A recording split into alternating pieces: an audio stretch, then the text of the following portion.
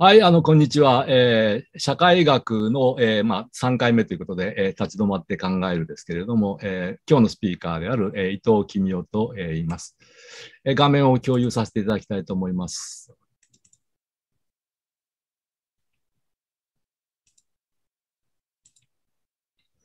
え、っと、まあ、えー、今日はあの、コロナと日本社会の脆弱性という話を、えー、しようと思っています。まあ、簡単な自己紹介ですけれども、私、専門はあの、えー、文化の視点から政治を分析するというのを、えー、仕事にしています。また、そういう流れの中でジェンダー研究というのをやって、えー、いるわけで、まあ、前回の落合さんとちょっと被っているところなんですけれども、えー、お話をしたいと思います。まあ、今回のコロナ禍の中で見えてきたもの、まあ、これはあの本当に日本社会が抱えている課題がコロナパあのパンデミックの中で顕在化したというふうにあの思っています。まあ、あの、えー、まあ、えー、生活感覚というか、現場感覚がない、えー、政府の、えー、危機管理の、えー、弱さみたいなものも、えー、今回かなりはっきり見えてきましたし、また、えー、後で触れますが、医療システム、あるいは行政システムの脆弱性、まあ、公的医療が実はあの弱体化しているということや、えー、公務員の数が少ないというようなことも、えー、今回の、えー、パンデミックの中で見えてきたというふうに思います。また、えデジタル化をはじめとした日本社会そのものの脆弱性も、えあらわになったのが、え今回のケースかなと思っています。さらにですね、えー、経済成長にかからない、えー、ものはもう無視するというか、特にあの学術、科学の、えー、軽視ということ、まあ、これはあの、昨年の、えー、学術会議の、えーまあ、6名の、え、新会員の任命拒否の、えー、問題や、あるいはあの、えー、分科会の、えーまあえー、お医者さんたちの意見をなかなか耳を、えー、貸してくれないような、えー、状況がこう、えーまあえー、あらわになったのも今回の、えー、特徴かなというふうにあの、えー、思います。で、もう一つあの、えー、この渦中で起こった、えー、東京オリンピック・パラリンピックですけれども、あの、えー、森前、えー、組織委員長、組織委員会会長ですね、あの、えー、の発言とか、LGBT への差別禁止法案を、えー、オリンピックのために準備しよう、えーまあえー、多様性と調和っていうのが今回の、えー、テーマだったわけで、えー、多様性のために、えー、LGBTQ の、えー、人たちに対するあの、えーまあえー、差別禁止の法案を作ろうとしたんですけども、頓挫してしまったとかですね。またあの、えー、オリンピック実際に動かす中で、えーまあえー、一部にこうお金が流れるというか、えー、運営経費の中で、えー、中抜き問題があったりですね、えー、食べ物や医療医療用の備品の廃棄、大量廃棄みたいなことまで起こってしまっている。なかなか、えー、悲惨な状況だと思います。で、ある面、今回のコロナとオリンピックが見せたものっていうのは、やはりあの、えー、変わりきれなかった日本社会というものが問題なんじゃないかなという思っています。で、まあ、1970年代以降、僕はあの人類史的転換とちょっと大げさに呼んでるんですけれども、大きな変化が、世界中で起こっていると思います。ただその変化に、日本の社会が十分に対応しきれなかったんじゃないかということが、今回の、コロナや、オリンピックの中で、こう、まあ、顕在化しているというふうにあの、思っています。まあ、何が新しい課題かといえば、一つはあの、えー、1960年代後半くらいから、あらゆる人の人権に対する目覚めというのが始まりました。まあ、これはあの多様性の承認へという流れに、えー、現在はこう、えー、広がっているわけですね。人種差別撤廃から、えー、性差別、えー、障害のあるなし、宗教や年齢や世代や、いわゆる、えー、LGBTQ の、えー、問題まで、えー、あらゆる人の人権について、えー、人類がですね、えー、まあ、えー、これはきちんとこう、えー、考えるべきだっていうふうに、えー、まあ、思い始めたのが1970年代以降かなというふうに思っています。また、同時にですね、自然環境との共生の問題も、えー、まさに、えー、まあ、ローマクラブが、えー、成長の限界を出したのが1970年代初頭ですけれども、えー、70年代以降の人類史的な課題というふうにあの言えると思います。また、えー、非暴力と平和の問題えー、まあ、えー、地球環境問題や人間の安全保障という問題がですね、えー、70年代以降、大きな、えーまあえ、人類の課題になってきた。ただあの、そういう大きな課題の中でどうも日本の社会は、え、ガラパゴス化していたというか、え、乗り遅れたのではないかというふうに思っています。まあ、言ってみれば社会の多様化や複雑化っていうのものに対応しきれない日本の社会。まあ、えー、対応するには本当に多様な視点や多様な対応が必要なんですけれども、えー、男性主導の均質で同調型の組織運営というふうに僕は呼んでるんですけれども、えー、まあ、えー、それの継続の中でですね、まあ、えー、本来ならば多様性に対応する形で、まああのえー、文献化、えー、分散化とネットワーク化が求められているわけですけれども、えー、中央管理型のピラピラミッド型組織で、これに対して忖度するあの人たちがいる形で、硬直したあの、えー、組織がこう継続してきた、まあ、ひらめ型、上ばっかり見て下には厳しいタイプ、あるいはあの同活型の男性がリーダーになりがちな現代日本社会の、問題みたいなものはですね、今回の、コロナの中で、あらわになったように思います。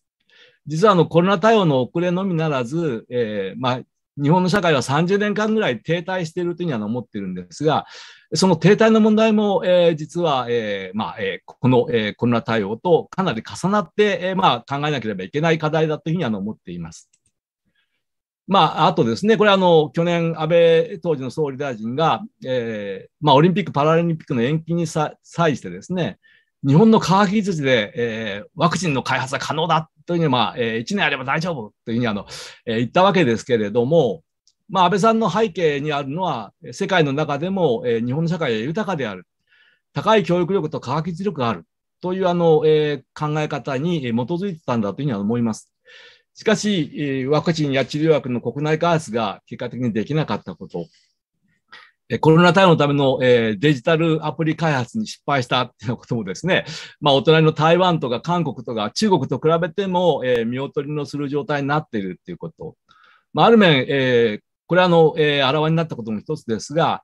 豊かな日本社会、教育技術大国である日本社会というのは幻想だったのではないかということも、え今回のコロナの中で、え見えてきたのではないかというふうに思っています。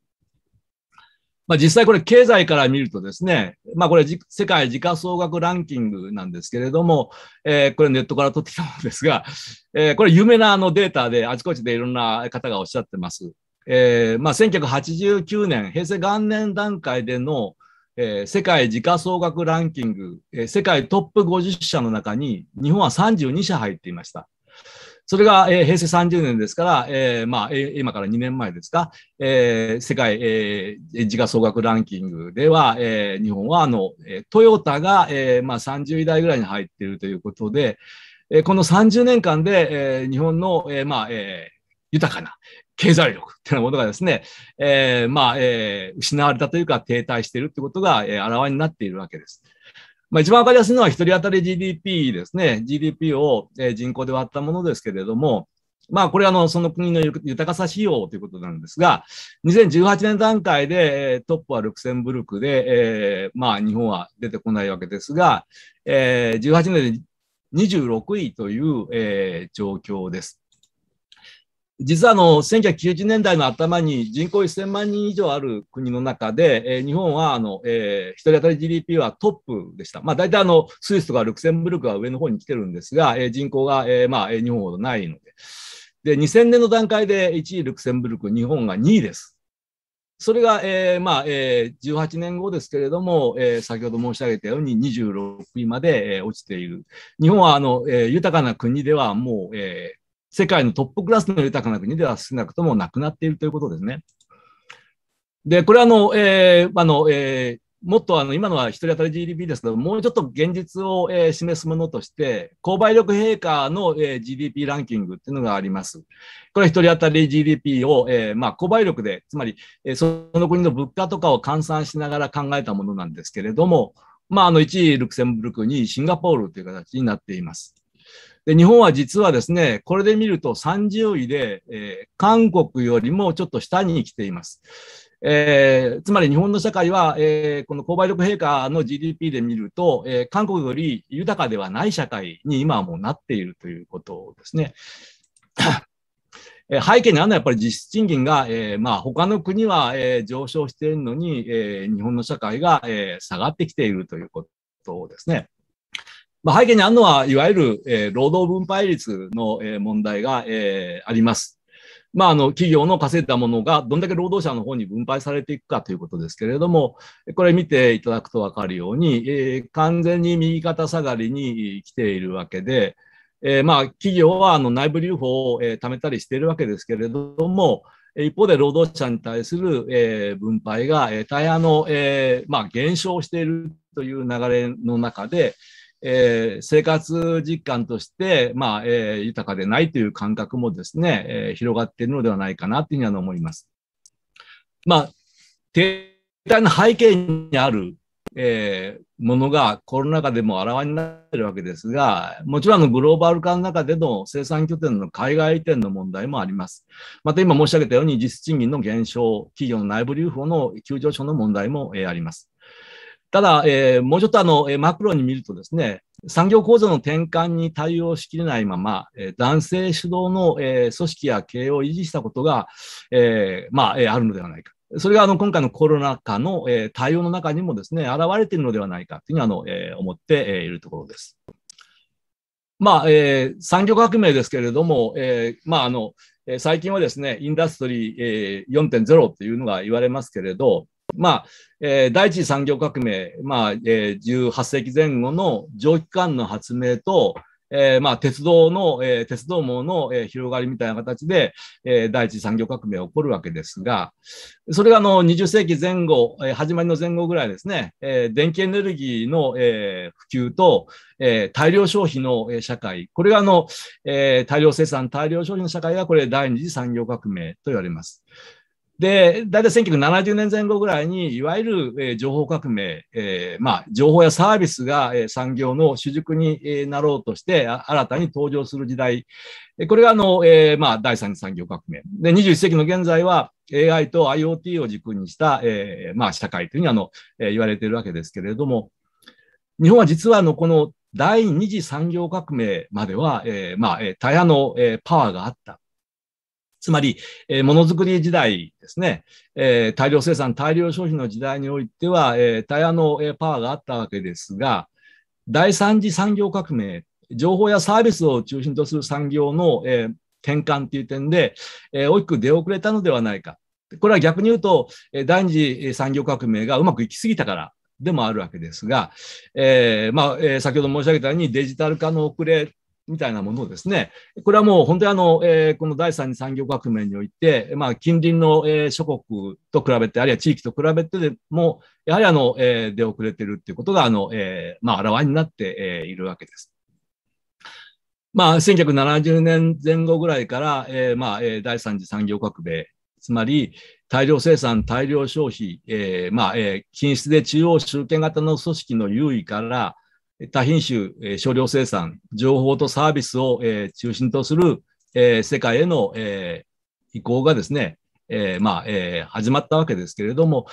この転換に日本の社会は、え、対応しきれなかったんじゃないか。それはあの、え、教育や学術分野にも、え、その影響が、え、現れつつあるように思います。えー、まあ、日本はあの教育大国だと思っておられる方がいるかもしれませんが、これはあの OECD のデータですけれども、まあ、いわゆる大学型、まあ、日本で4年生大学の進学率の OECD 平均なんですが、日本はあの OECD 平均の62より10ポイント近く、10ポイント以上、えーまあ、低いというのは、ちょっと前の数字ですけれども、えー、出ています。まあ、1990年代の頭ぐらいは結構日本はあの、えー、大学進学率高かったんですけれども、他の国々がですね、産業構造の転換に対応して、えー、高等教育に力を入れるようになった。でも日本の社会はバブル崩壊もあってですね、えー、高等教育に対する、あるいは、えー、学術研究の支援に対する、えー、サポートがやはり不十分だったっていうことですね。これあの、えー、学術論文数も、えーまあえー、あの停滞しているのはあのご存知の、えー、通りです。まあ、今あの、えー、ノーベル賞が、えーまあ、毎年のように日本から出てますけれども、えー、これはあの1970年代、80年代ぐらいの、えー、日本の、えーまあえーまあ、基盤があったからで、えー、おそらくこれからは、えーまあ、ノーベル賞取れないんじゃないかっていうのが、えー、多くの受賞者の、えーまあえー、研究者からの声でよく聞かれるところであるのはご存知の通りです。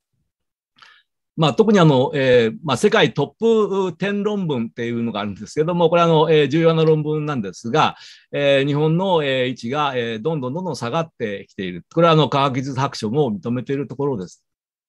まあ、背景にあるのは明らかに科学技術予算問題で、まあ、中国や韓国の伸びと比べてみても、えー、日本の、えー、科学技術予算っていうのはあの、えー、大変あの、えー、少ない、まあえー、科学技術や学術というようなものに、えー、十分に配慮しない、えー、日本の、えーまあえー、社会の、えー、課題がですね、えー、こういう、えー、教育や、えー、学術分野の停滞というところにも、えー、つながっているのではないかというふうにあの考えています。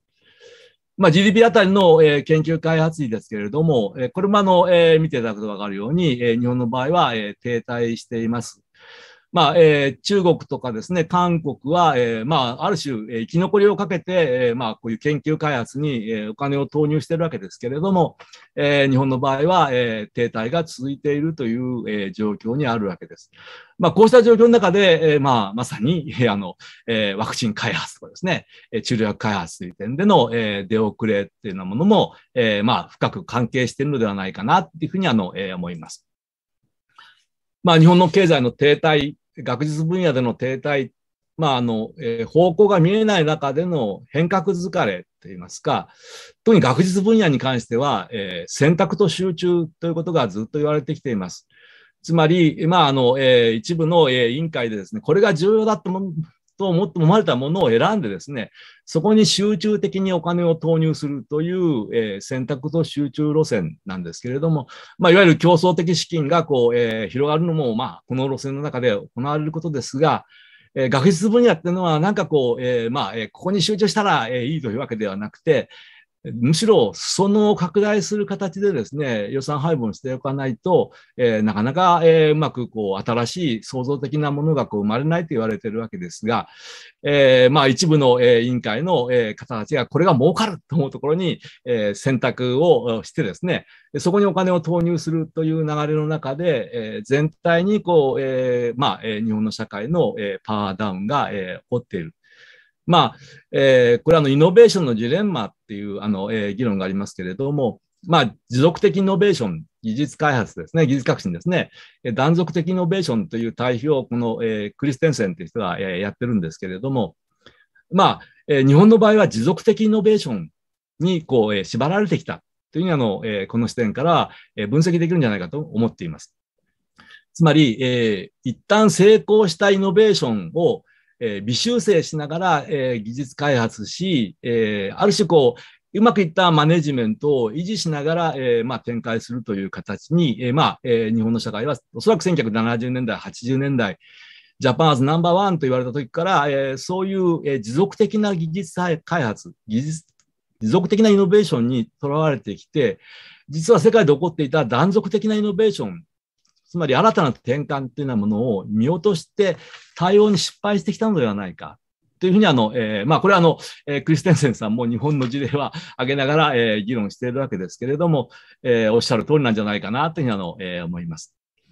まあ、えー、私はジェンダー論が、えー、専門なんですけれども、えー、日本の社会は、えー、70年代、80年代の、ある種のですね、男性主導の、えーまあ、集団主義で、えー、成功してしまった。その成功体験から、え、逃れられないまま、え、変化に対応できなかったっていうことが、え、あるのではないかというふうには思っています。まあ、日本人はあのよく集団主義だって言われますけれども、えー、これあの、えー、私はスポーツの研究もやってるんですが、え、日本の伝統スポーツに集団競技があるかどうか。まあ、ないことはないんですけれども、えー、ヨーロッパなんかのサッカーとかバスケットボールのような集団競技は割と少ないですね。基本的にあの1対1の、えー、柔道とかえー、剣道とか、えー、空手とか相撲とか、え、いうものが中心になる。羽子板だって一対一ですから。で、まあ、えー、これはあの、えー、面白いんですけれども、えー、まあ、えー、人類学者、民族学者の高取正夫さんの説ですが、えー、自分の箸とか自分の茶碗を持つ文化、大変珍しいですね。個人所有にすごくこだわる、えー、文化なんですね。欧米社会で私のフォークとか、えー、私のナイフなんてあまり言わないですね。で、まあ、これはあの、社会心理学の日米国民性研究っていうのが、えー、あるわけですが、えー、信用できるものの、えー、まあ、13ぐらいあるらしいんですけれども、まあ、5つぐらいは、え、日米とも、え、個人主義か集団主義かっていうのはあまり変わらないっていう、え、結論なんですが、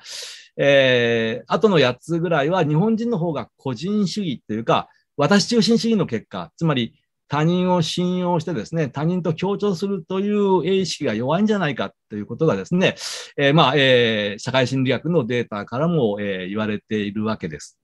ただ日本の社会はすごくあの同調主義に見えるわけで、えー、しかも集団主義に見えるわけで、まあ、僕はこれ同調型集団主義と呼んでるんですけれども、まあ、他者の動きをモニタリングしながら損しないように振る舞う。つまり自分のことを中心に考えてるから、えー、集団に同調するという、えー、組織文化みたいなものがですね、え、特にこの、え、30年、40年の、えー、日本の社会でこう定着してきたのではないか。まあ、これはあの、ある種の忖度文化、官僚の世界も、えー、今回、えー、あらわになってますけれども、えー、忖度文化が、えー、支配している。えーまあ、社会の停滞が、えー、そうした中から生まれてきている。今、日本に必要なのは多様性に開かれた、えー、協調型集団主義じゃないかというふうには思っています。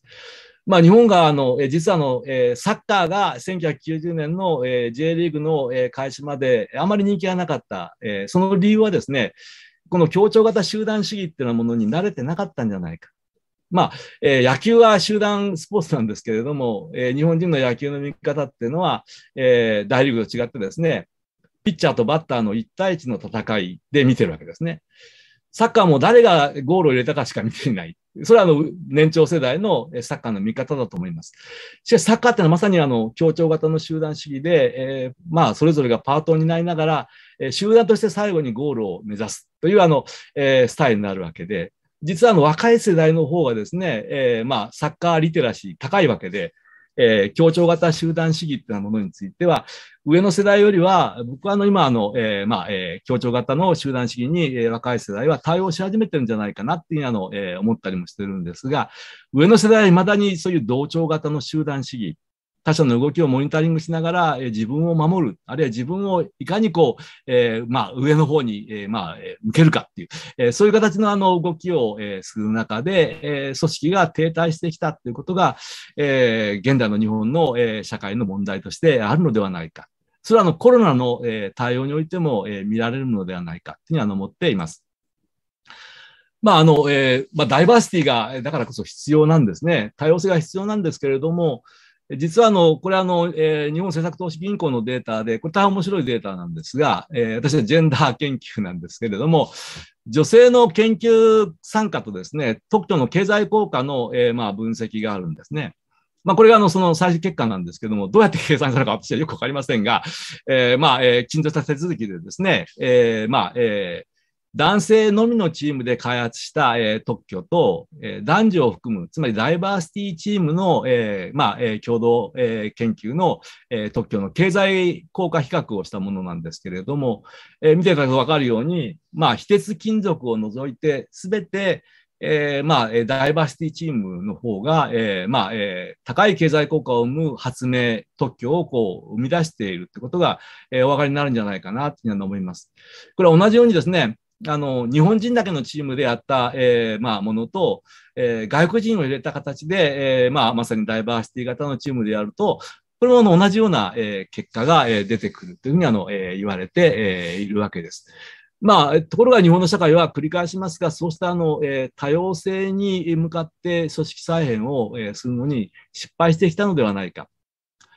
まあ、なんで女性の参画が創造性を生むか。まあ、えーまあ、産業構造の転換という話を先ほどもしました。情報やサービス産業がこう発達する中で、えー、多様性、異なる意見のぶつかり合いが、えーまあ、創造性を拡大するというあの発想。まあ、これがあの、えーまあ、現代社会では、えー、特に経営なんかではですね、えー、中心になっている視点。だからダイバーシティみたいなことを、えー、日本の企業も言い始めているわけですけれども、まあ、中でもこれあの、日本の場合、ジェンダーの効果っていうのは結構あるのではないか。まあ、学術研究においてもですね、えー、そうしたことは、えー、これからあの本気で考えていかなければいけない部分だろうというふうにあの、えー、思っています、えー。日本はご存知のように女性の研究者割合が、えー、まあ、えー、OECD 諸国の中では最低という、えー、状況になっていることも、えー、ちょっと危惧される、えー、ところかなというふうに思います。まあ、そうした中でコロナの話でですね、えー、まあ、えー、日本の社会の課題が見えてきた。まあ、いわゆる新自由主義というあの問題が出てくるわけですが、え僕はあの、えこれはちょっとかなり日本型の新自由主義の、えー、というふうにあの考えた方がいいのではないかというのは思ってるんですが、まあ、この話はあの、えー、次の回でちょっとあの詳しくお話しするつもりではいます。で、まあ、えー、日本でなんで労働分配率が下がったのかっていうことですけれども、これはあの経営を維持するために、まあ、人員整理とか、えー、実質主義の低下を、まあえー、していったわけですね。つまり、え、企業の、えまあ、利益を上げるために人減らしをし、え賃金を上げないという形で動いてきた。これは同じように、え正社員から非正規、特に女性を中心する非正規への移行ということも、え重なってきています。つまり、勤労者にはお金を、えあまり回さないという、え仕組みの中で、あるいはあの、えー、働く人の数を減らすということで、えー、企業業績を上げるという選択を、えー、日本の社会がしてきているわけですね。えー、その付けが、まあ、えー、日本社会の停滞や、えーまあえーまあ、GDP の、え、停滞も含めてですけれども、えー、つながっているのだろうというのは思います。実はこの方式は、えー、企業分野にも先にですね、行政分野で、えー、先行していたのではないかと思っています。いわゆる行革という、えー、流れですね。これはあの、えー、非正規、非正規の、えー、職員の、えーまあ、データですけども、えー、総務庁のデータですが、えー、まあ、大体全体に非正規がこう、えー、増えていくことは見えて、いると思います。えー、まあ、20年、これあの非正規が、えー、まあ、最初に首切られちゃうので、えー、若干こう非正規の、数が減っていくわけですけれども、まあ、男女で見ると、やはりあの、えー、まあ、非正規の方、えー、女性の方がやはりこう、えー、増えている。ただ男性の非正規も、え、実はあの、えー、まあ、それなりにあの、えー、増えているわけですね。これはあの、えー、高齢者で、えー、まあ、再雇用なんかの非正規なんかも、え、含んでいる、データだというふうにあの、思っています。まあ、ただ20年になると、この非正規の、え、特に女性の、え、非正規分がですね、下に落ちている、え、男性の方も落ちてますけれども、え、最初にあの、え、首を切られてい、えー、ったのが、え、この層だということも、え、見えてくる数字かなというあのデータかなというふうに思います。で、公務員の話ですけれども、公務員の人口比ですが、ご存知のように日本の社会は、えー、まあ、公務員の割合が人口比では大変少ない状況だというふうにあの、え、言われています。しかも、あの、えー、減ってるわけですね。行政改革の中で、地方公務員は、あの、急激に減少しています。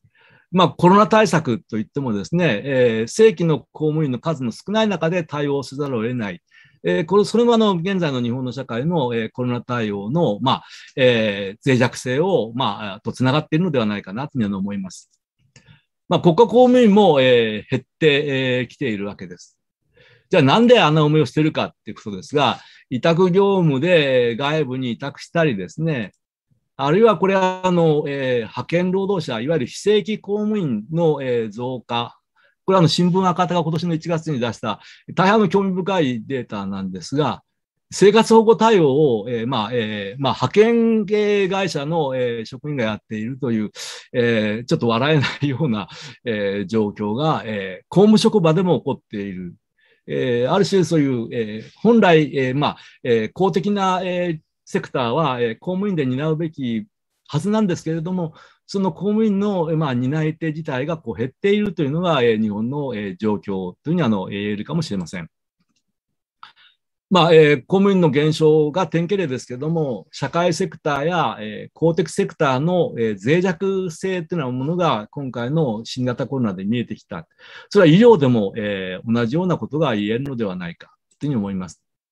まあ、保健所が減少した話については、えー、報道されているのでご存知の通りです。まあ、もともと結核を対象にして、えー、普及してたというところもあって、最初にあの、まあ、えー、切り捨てられていったのが、まあ、保健所なんですが、えー、今回保健所の不足が、えー、コロナ対応という点で、えー、大きな、えー、問題を、えーまあ、投げかけているのはご存知の通りです。ベッド数が多いというのも、えー、報道されています。確かに日本は、えー、図抜けてベッド数が多い。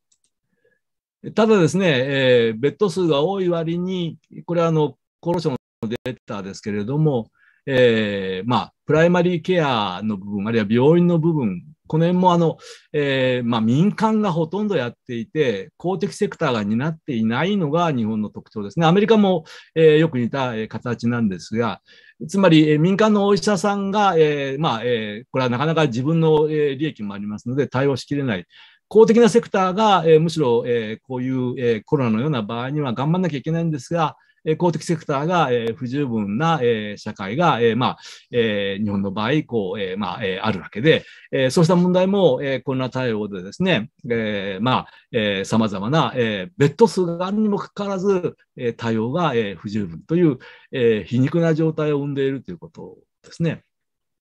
まあ、看護師さんは、えー、世界の大きな流れで人口比で見たらそれなりにいるわけです。まあ、これもあの、えーまあ、看護師さんの、えーまあ、状況、えー、特にあの、えー、賃金状況の問題等々、特に女性が、えー、多いということもあって、えー、賃金が抑制されているような部分もあるわけですけれども、えー、なかなかそういう意味で言ったら、えー、看護師さん、えー、資格を持っていても、えー、今回、なかなか医療現場で、えー、活動できなかった方たちもおられるわけですけれども、えー、人数はいるわけです。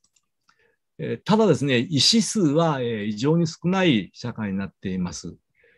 これはあの理由ははっきりしていて、医師が増えるとお医者さんの儲けが減るからだろうというのは思います。えー、はっきり言って。えー、医学部の、えー、まあ、えー、定員も実はかなり抑えられ続けてきているわけです。まあ、獣医学部は、あの、えー、まあ、えー、抑えられてきたわけですが、えー、加計学園で百何十人も、えー、急に、えー、なんか、えー、定員が増えたりもしましたけれども、えー、医者の数が、えー、そもそも抑えられている。また、あの、医療費において、医療器具は最先端なんですね。ここにお金がかけられているということです。えー、人件費、医者の人件費や看護師さんの人件費ではなくて、医療費、医療器具に、お金がかけられている、ものすごく高額な医療器具をたくさん買ってるわけですね。にもかかわらず今回これあまり機能しなかったわけで、CT 活用すればですね、もうちょっといろいろ検査なんかも、え展開できたんじゃないかと思うんですけれども、え膨大にお金の国と比べてあるのに対応ができていない。また薬剤師が多いっていうのも、あの、日本の特徴で、まあこれ薬である種医療費がかなり賄われているという部分も、えー、関係してるのかもしれませんけれども、えー、まあ日本の医療体制自体があいろんな矛盾を抱えているってことも、えー、見えてきたわけですね。で、まあ、えー、それに加えて、まあ、社会保障費の増大の中で、えー、医療費とか年金なんかの社会保障費がある程度抑制されながら、えー、あ、エッセンシャルのえのえがひらがになってますが、すみません、カタカナに、えー、直していただければと思いますが、エッセンシャルワーカーの、えー、労働条件も、特にあの、え、介護、職、看護職の、え、労働条件があまり良くないということも、え、あります。その一方で、身内や支援者、えー、支援にお金が流れる仕組みっていうのが、えー、まあ、えー、森友家計学園、えー、桜を見る会から、え、持続化給付金で、えー、中抜きを、えー、まあ、えー、大手の、えー、広告会社がやっていたっていうことが明らかになったり、えー、東京オリンピックやパラリンピックの、えー、中抜きの問題、えー、あるいはあの一部の人に対する特権付与みたいな形の、えー、縁故主義型の、えー、お金の使い方、もちろんあの、えー、医療費や社会保障と比べると、えー、額は少ないかもしれませんが、しかしそういう方向にばかりお金を回してですね、えー、肝心な基幹部分に十分にお金が回らない状態が、えー、まあ、日本の社会に、えー、あったっていうことも、えー、今回の、えコロナの、え中で見えてきたことかなっていうふうに思います。まあ、え日本はあの今あの、え急激にあの、え財政出動してるわけですが、え大丈夫かなと思いますね。えー、まあ、えー、去年の1年、えー、一般会計に補正予算加えると160兆円とか170兆円と言われてますけれども、えー、まあ、えー、本当にこれ大丈夫なのか、つまりおそらくこれからは、えー、とんでもない増税の、えー、時代が来るんじゃないか、えー、まあ、そういうことに備えなきゃいけない、えー、まあ、えー、これからの社会、私たちどう生きるかっていうのは、かなり本気で考えなければいけない、え課題なのかなっていうのを思います。でも、え最後になりますけれども、まあ、コロナで、え顕在化した日本社会の脆弱性ですけれども、どうすればいいのか。まあ、答えは簡単には出てこないわけですね。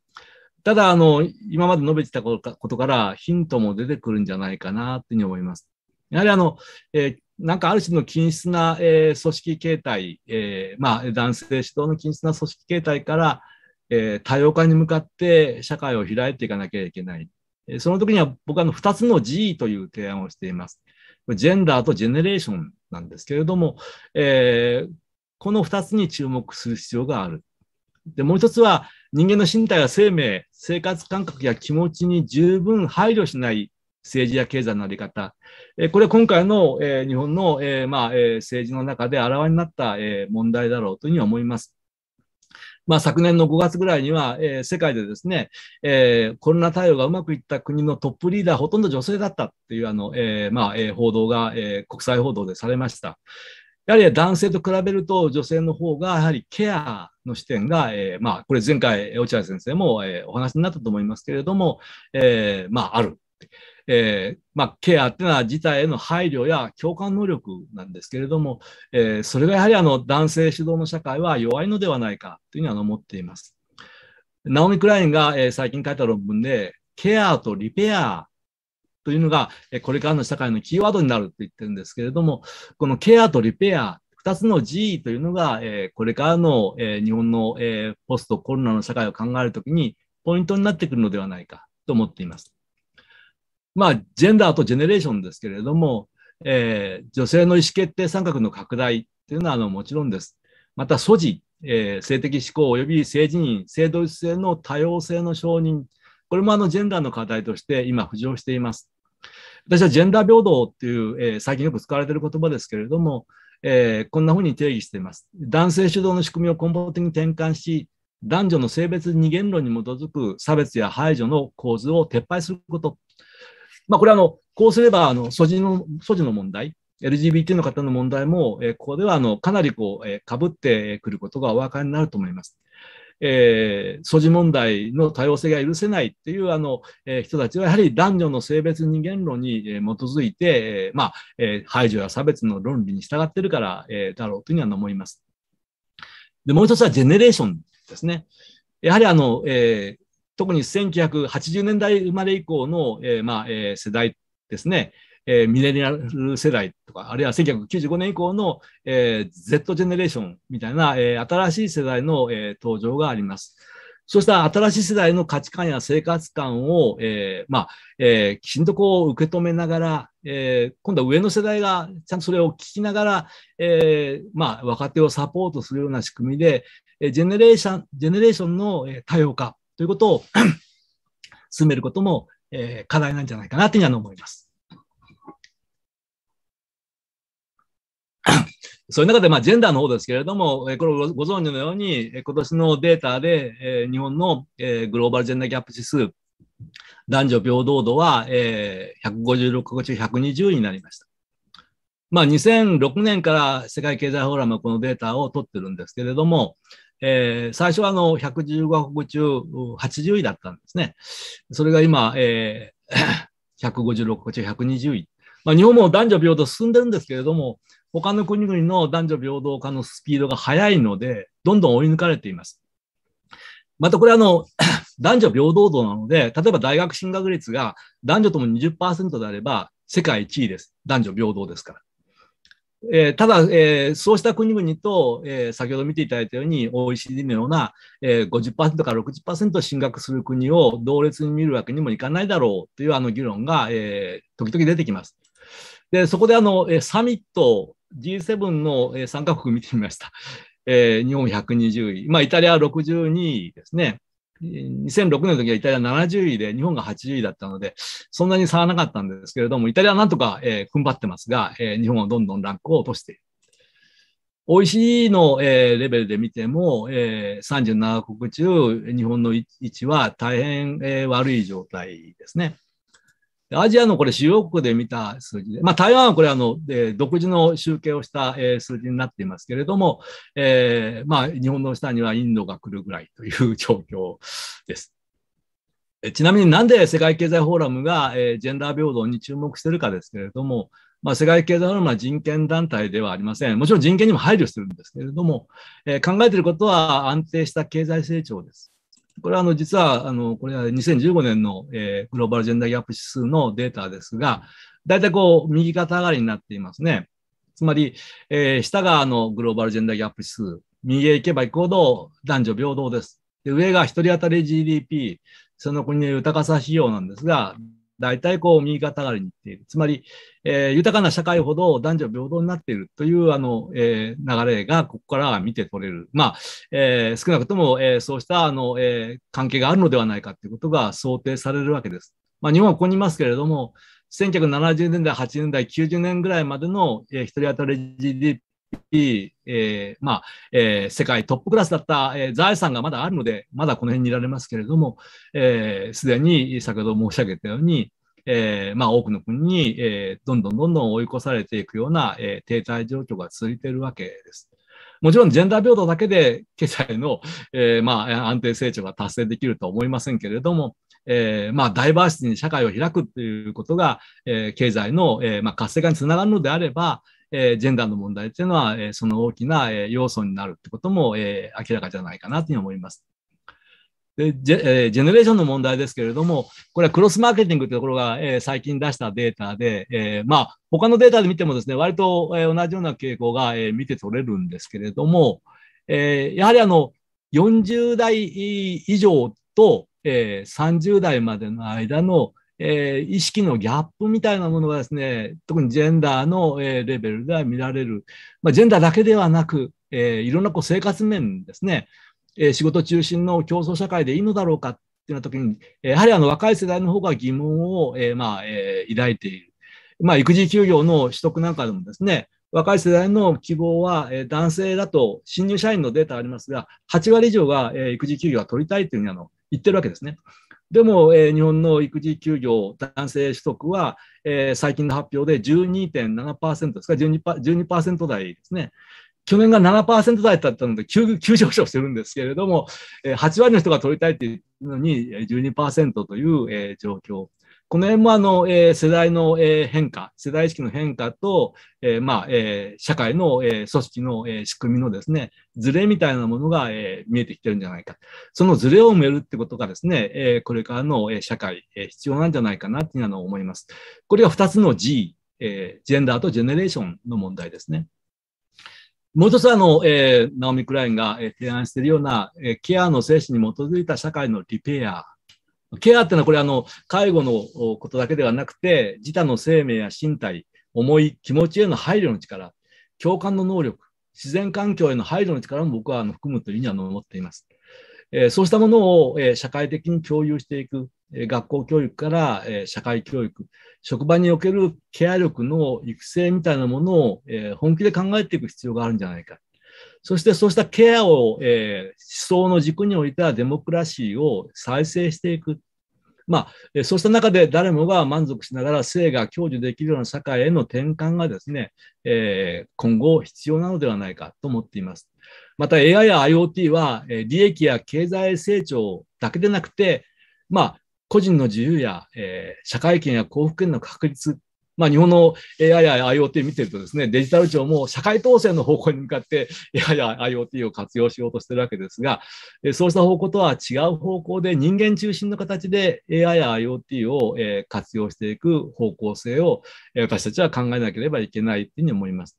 そして、そうしたケアの視点から人間と人間の関係性の修復、人間と自然の関係の修復っていうようなことを、えー、これから、えーまあ、私たちは、えー、進めていく必要があるのではないかというふうに思います。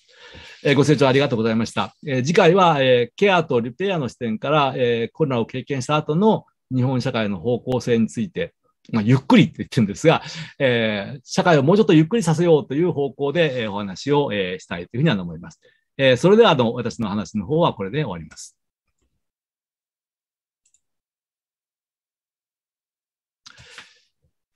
えっ、と、質疑応答ということで、す、え、で、にあの、チャットの方で、え質疑をいただいています。行政も企業も合理化の名のもとに人権を削って削って、その末に一体何を実現しようとしていたのでしょうか。一部の人間が私服を肥やすという単純な、え悪役設定だけでは納得はできないです。どうお考えになりますか、え保守主義、縁故主義、え身内主義の結末なのでしょうか？まあ、えー、なかなかこれもあの難しい問題ですね。ただやはりあの目先のやはり利益っていうようなものを、え考えたときに、やはり合理化をし、人件費を削るということを、え選択していった、えまあ、日本の企業や、え日本の行政の仕組みっていうのは、あのえある面、えまあ、合理的ではあったかもしれません。で、それはあの、えー、広い目で見たときに、えー、まあ、え、結局あの、えー、社会を、えー、疲弊させ、えー、今回のコロナのような事態にですね、対応できないような、えー、社会を作ってしまったという意味では、えー、まあ問題。これ保守主義なのかどうかっていうのはなかなか難しいですけれども、えー、保守主義であれば、えー、まあもうちょっとこう、えー、理性みたいなものを、えー、信用せずにですね、えー、自分たちの常識に基づいて、え、運営していくわけで、えー、保守主義ではないのかもしれませんね。むしろ設計主義のような、えー、頭で考えた、えー、図式で動いてきたっていうことの方が、え、問題なのかもしれないなというふうにあの私自身はあの思っています。で確かにあの、えー、設計で合理的に判断すれば、えー、人件費を削ってですね、えー、余分な、えー、労働力を減らして、えー、った方がですね、効率的だという発想が出てくるのは、一つの、えー、論理としてわかります。しかし、保守主義的な常識の範囲で考えたら、えそうした形で、え基盤の労働力を削っていって持つだろうか。これはもちろん保守主義の、え発想だろうと思うんですが、え日本の場合はそういう健全な、え保守主義っていうのは、えまあ、えうまくこう、え成熟しなかったのかなっていうのを思います。また、援護主義に関しては、これはあのむしろ経済が逼迫する中で、えー、起こっている部分もあるのかもしれません。つまり、えーまあえー、一部の人々が、えー、自分の、えーまあ、立場を守るために、えー、お金を、えー、身近の人たちに回しながら、え自分たちをこう防衛するような動きの中で、えー、まあ、えー、円主義が、えー、はびこりつつあるというのも、えー、もしかしたらあるのかもしれません。それは逆に言うと、社会が停滞しているからこそ、えー、まあ、えー、小銭を それこそ自分たちで、えー、回そうという、発想になるのかもしれないなというふうにあの、えー、思っています。社会が、えー、元気であれば、えー、そういうところにお金を回さなくてもですね、えー、元気で回っていけるわけですから、えー、円主義の、えー、拡大っていうのも、むしろそういうある種のこう経済の閉塞、財政の閉塞みたいなものが背景にあるのかなというのを、え、思ったりもしています。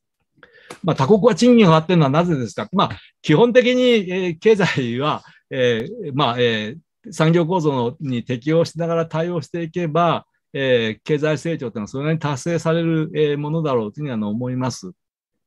また、情報やサービスを中心とする産業への移行が、まあ、うまくいっているっていうようなこともですね、他の国が賃金上がっていることの背景にある。逆に日本がなんで賃金が上がらないのか、それはむしろあの考えなければいけない課題ですし、それはあの先ほどの質問者と同じようにですね、えー、あの、えー、合理化の名のもとに、えー、企業の、えー、まあ、実績を上げるために、えー、まあ、賃金を切り下げ、えー、まあ、えー、人々を、こう、えー、まあ、えー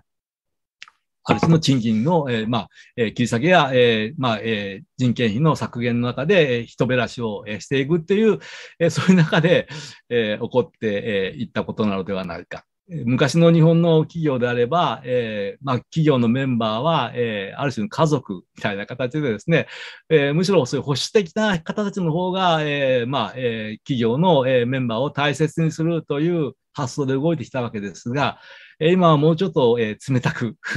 えー、企業の、えーまあえー、利益のためには、えーまあ、合理化を、えーまあ、どんどんやっちゃうという、えーまあ、そういうあの、えー、状況になっているし、結果的に、えー、賃金が日本の場合は、えー、下がっている。つまり、普通の、えーまあ、経済活動とは違う、えー、経済活動を、えー、日本の、えー、多くの企業が、特に大企業はやっているということなんじゃないかなというふうに思います。えっと、ジェンダー平等が賃下げの正当化に使われていないでしょうか。えー、えっと、ジェンダー平等が、えー、これどういうことかな？えー、つまり、えー、男女平等ということで、え、男性の賃金も女性並みに下げるという形で、え、まあ、え、されているということなんでしょうか。え、まあ、これはあの、いわゆる同一労働同一賃金というのが、あの法制度が、えーとえ、昨年ですか？あの、え、制度化されていますよね。それはまさに、あの、こういう事態が、えー、危惧されるという、私自身は思っています。つまり、えー、日本の場合は、同一労働同一賃金ではなくて、えー、まあ、非正規と非正規と非正規の間で賃金格差があるわけですね。同じ労働をしていても、えー、賃金格差がある。それを同一労働同一賃金という形で、えー、まあ、方向転換をしようというのが、えー、同一労働同一賃金の、え、法制度なんですけれども、これ何を目指していたかというと、これもあの先ほどから言われていることと絡みますけれど、えー、賃金の抑制と関係してるんじゃないかと思います。つまり、えー、男性の賃金というか、多くの正規の賃金を、えー、非正規の賃金に、まあ、え、合わせるってわけで、急激には下げられないかもしれませんが、え、同一労働同一賃金って形で平準化するっていう中で、え、むしろ、えまあえ、労働分配率を下げる方向に、え、作用、え、しかねないのではないか。え、そういうあの危惧を、え、私にも抱いていましたが、おっしゃることはおそらくそういうことではないかと思います。まあ、えー、男女の、えー、まあ、労働条件を整備して、えー、男女ともですね、えー、まあ、えー、当たり前の賃金、えー、当たり前の労働ができるように、えー、方向転換していくっていうことが、えー、まあ、ジェンダー平等っていう点ではですね、えー、求められるのではないかというふうには思います。で次の問題。社会全体の意識改革が必要な気がします。他の国はどんどん意識を変え、社会を変革して先に進んでいるのに、えー、日本が意識を変えられる停滞しているのはなぜでしょうか？意識変革を進めるためにはどんな、えー、方策があるでしあるとお考えでしょうか、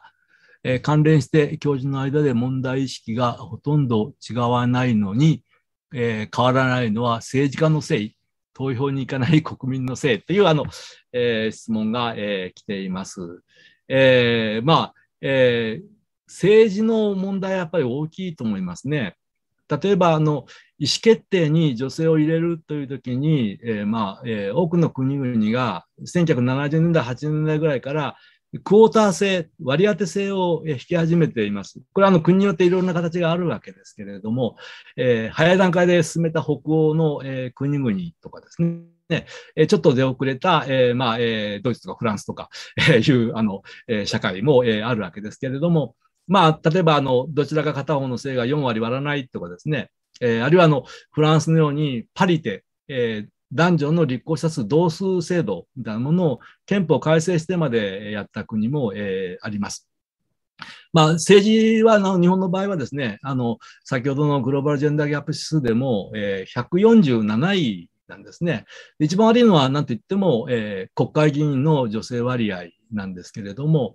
えー、今から20年前の、えー、データ覚えてるんですが、私はあのフランスとかイタリアが、えー、イタリアがフィールドなんですが、フランスもやってるんですけれど、イタリア、フランス、日本の、えー、女性国会議員割合を調べたことがあるんですが、2000年の頭だとほとんど同じぐらいですね。7%から8%ぐらい。今、日本はあの、えーまあ、衆議院が10%割ってます。9.9%ですね。参議院はちょっと、えー、2割超えてると思いますけれど、えー、フランスやイタリアは今の、えー、女性国会議員は3割を超えています。え、これはともにですね、あの、えー、クォーター制度を、えー、政治分野に持ち込んだからなんですね。で日本も実はあの、えー、2年前に、えー、政治分野における男女共同参画、えー、推進法というあの、えー、法律を作ったんですけれども、他の国のように厳しいこう縛りがないんですね。頑張ろう。日本のそういうあの平等政策っていうのは頑張ろう政策が多くて、えー、努力しましょうというのであって、えー、まあ、こうした枠をはめますよということはあまりないんですよね。で、僕はあの、えー、まあ、えー、政治分野の男女共同参画推進法を、活用するならば、例えばですね、えーまあ、女性議員割合が少ない政党に関しては、政党助成金を減らすとかですね、あるいは女性議員を増やす、あの割合を、候補者を増やしたところにはちょっとプラスするとかですね、えー、そうしたなんか、えー、やり方もですね、日本の法制度を使ってもやれるのではないかというのは思っています。で、まあ、もう一つあの、やっぱり教育の分野で、例えば台湾が先ほど、えー、申し上げたように、アジア地域では、えー、ジェンダー平等が進んでいる国なんですけれども、地域なんですけれども、台湾は、えーまあえー、ジェンダー平等教育法っていうのを、えー、2004年に、えーまあえー、作ってます。それまであの、両性平等教育法っていうのがあったんですが、両性だとこれ男女じゃないかで、えー、LGBTQ の人たちをどうするかっていうときに、性別平等教育法。ここでいう性別はジェンダーですね。ジェンダー平等教育法なんですが、えーまあ、台湾では、えー、小学校から年間8時間の、えー、ジェンダー平等教育が義務付けられています。まあ、それぐらいのことを日本も、えー、やった方がいいんじゃないか。まあ、なかなか日本の保守系と言われる、えー、保守系というか、えー、まあ、ジェンダー平等に反対する、えー、人たちは、えー、まあ、抵抗するかもしれませんけれども、本気で考えるならば、えー、そうしたことが、えー、必要かなと思います。また、えー、選挙があるわけですから、えー、選挙の時には、えー、そうした政策もですね、ちゃんと見ながら、え、投票していただければというふうには思います。日本はずっと人口減のための少子化対策で様々な制度や改革が行われている、政策が行われていると思っています。ジェンダー平等もそれにつながっているようで、私たちがなぜジェンダー平等を実現してほしいとかの、え、実感からはかけ離れていると思います。どのような声を上げればジェンダー平等につながるとお考えでしょう？えっ、と、少子化の問題とジェンダーの問題ってやっぱりかなりあの密接に関係していると思います。で、1989年に、えー、いわゆる1.57ショックっていうのが起こりました。これはあの、えーまあえー、合計特殊出生率、1人の女性が、まあ、一生涯に産む子供の数の平均と大体考えていただいていいんですが、それが1.57になった。人口維持するのにはだって2.07から08ぐらいの、えー、合計特殊出生率が必要だと言われています。で、1989年の数字で、えー、このままでは人口が維持できない。そうなると、生産、えー、年齢人口、15歳から64歳の現役世代が減るっていうことがもう明らかになったわけです。これも実はの日本の経済の停滞の原因の一つで、現役で働く人の数が減って、えー、まあ他方で高齢者が増えていくという、流れが、あるわけですね。それはもうすで、に、えー、1990年代の頭では明らかだったんです。でその時に、えー、私たちが、えーまあ、提案したのは、えー、まあ、えー、この労働問題とジェンダーの問題で3点ありました。一つは、えー、女性の労働参加を拡大するってことですね。これはあのヨーロッパの国々が1970年代にやったことでもあるわけですが、労働力不足を女性の参画によって、まあ、ある種活性化させるということですね。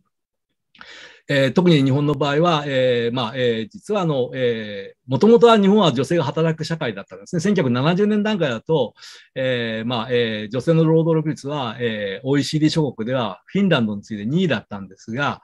えー、3位がスウェーデンなんですけれども、えー、急激に他の国々が、えー、女性の労働力を拡大していく中で、えー、日本の女性労働力は割とこう停滞してきた、えー、わけです。で、まあ、女性が、えー、家庭におられる女性が、しかも働きたいとおられる女性が、えー、まあ、大体300万人ぐらいおられるというふうにあの言われてましたけれども、えー、そうした人たちに社会に出て働いていただくということが、えー、ある種、えー、労働力不足を補うし、女性に働いていただいて、えー、まあ、税金や社会保障費を支えていただくということでも、えー、大変重要な意味がある。ただですね、男女間の賃金格差があまりにも大きい。あるいは、えー、女性の、えー、プロモーション、昇進が、えー、大変抑えられている。それでは困るわけで、女性の社会参画と同時に男女平等の労働条件の整備、さらにワークライフバランスっていう、それがあのセットになって、えー、まあ、えー、組み込められれば、えー、人口の減少に対しても対応できる社会が作れるのではないか。これ90年代半ばに私たちが提案していたことです。もう一つは、高齢者が働く社会が確実に来る。労働力不足になりますから。そうしたときに、えー、高齢になっても安心して働けるような働き方の仕組みが必要だろう。これも90年代半ばに申し上げていたことです。えー、実際に今のご存知のように、えー、高齢者が働きに出ています。70歳以上の、あるいは65歳以上の高齢者の労働人口は実は急激に増えています。なぜかというと、年金だけでは食べ食べられないような、まあ、社会保障の現状だからなんですね。で、それを見越してですね、年金の保障も含めて、高齢者が安心して、えー、まあ、えー、週に2日とか3日とか働きながら、えー、社会貢献しながら元気に生きられる社会を30年くらい前にはもう構想しなければいけなかったんですけれども、えそういう提案もしてたんですが、それも、えー、されてこなかったということです。3番目はあの外国人労働力の受け入れです。で、これも、えー、30年前から分かっていたことです。で、ただ受け入れるためには、外国人労働者の人権に対する十分な配慮をした法整備、あるいは外国人との共生のための共生教育の徹底ってことが必要だってに、えー、25年くらい前ですね、申し上げていました。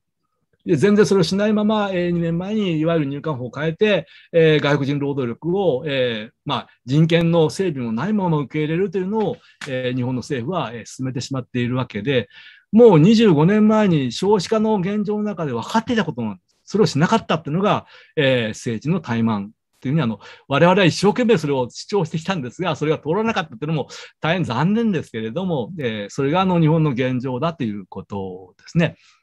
ナオミ・クラインに賛同しているのに伊藤教授が MMT に賛同してないように思うんですが、なぜですか？僕はあの、えー、ナオミ・クラインの、えー、まあ、えー、その、えー、ケアとリペアという議論には賛成ですけれども、MMT に、えーまあえー、モダンマネタリーセオリーに関しては、えー、かなり疑問を持っています。特に、えー、日本の場合はですね、えー、本当にあの、えーまあ、1000万、1000、兆円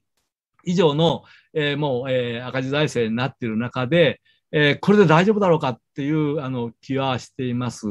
えー、他の国とかなり事情が違う日本の場合に、えー、まあ、えー、この MMT の、えー、議論でやっていけるかっていうのは、えー、相当危機感を、えー、持っている、えー、ところです。えー、僕はあの基本的にあの、えー、あの緊縮についてはあの次回またちょっとお話をするつもりですけれども、えーまあ、緊縮政策に関しては、えー、反対えー、しています。ただ MMT には賛成していません。えっと、割り当て制など女性の地位向上施策を実現することは女性に肩入れなので男女平等に反するという意見も聞きます。うまく反論できないのですが、これはあの簡単です。あのなんで他の国がクォーター制入れたか。現状が差別的だからです。差別を是正するための特別措置は逆差別ではないっていうのが、えー、世界のルールだというふうにあの僕は思っています。実際にそうだと思います。現状がやはりいろんな形で制度化された差別、あるいは意識の中に残っている差別があるわけで、それを超えるためには、意図的にですね、ちょっとあの政治主導でですね、えー、まあ、えー、積極的な差別で政策をする。これはあの、えー、1970年代、80年以降の世界のジェンダー平等政策の、えー、基本的な、流れだと思いますし、えー、日本もそういう流れを、えー、まあ、取ってもいいんじゃないかなっていうふうにあの、えー、思っているんですけども、先ほど申し上げたように、なかなかそういう、えー、強い、えー、まあ、えー、枠で、えー、それを進めるというのに、えー、日本の社会は、えー、躊躇している。まあ、気持ちはわからないでもないんですけれども、もうちょっと強い、えー、規制でですね、えー、差別是正をしてもいいのではないかっていうふうに、あの、えー、個人的には、えー、思います。えっ、ー、と、12時になりましたので、えー、まだ質問あるようですけれど、えー、わーっと喋りましたが、えー、これで、えー、私のおしゃべりの方、えー、終わりたいと思います、えー。次回またよろしくお願いします。そしたら、さようなら。